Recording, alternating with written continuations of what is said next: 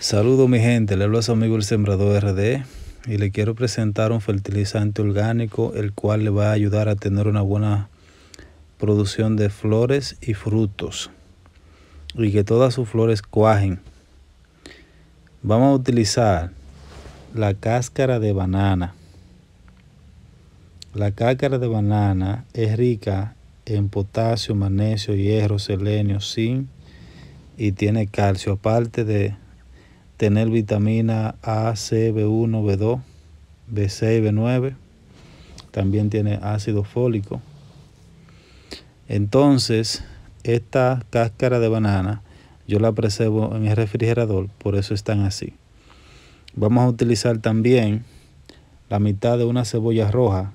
La cebolla es rica en potasio, magnesio, calcio, fósforo. También tiene zinc, selenio hierro y manganeso. Vamos a utilizar 5 cáscaras de, de banana y un litro de agua. Le agregamos media cebolla y la ponemos a hervir por unos 15 minutos.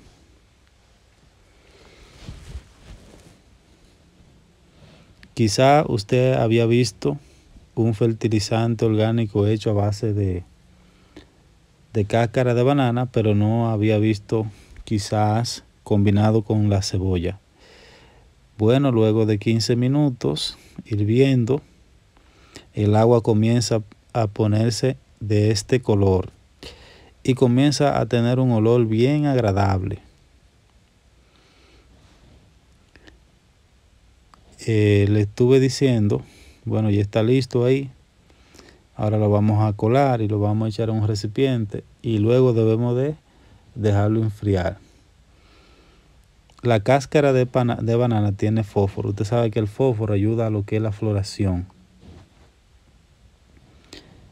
También ayuda a lo que son las raíces, a tener buenos, muchos brotes.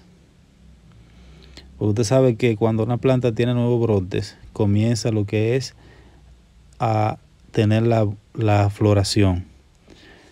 Ahí entonces a cada planta como esta le vamos a agregar una taza. ¿Cada cuánto? Una vez por semana. Esta planta yo la tengo aquí en maceta, son limoneros, están en producción. Estoy restaurando estas plantas por ejemplo, la que está del lado derecho tiene las hojas un poco amarillas. Eso significa que va a necesitar el potasio. El, limón es rico en potasio y el potasio me va a ayudar a que la planta pueda absorber los demás nutrientes. Porque el potasio se encarga de transportar los demás nutrientes que la planta necesita.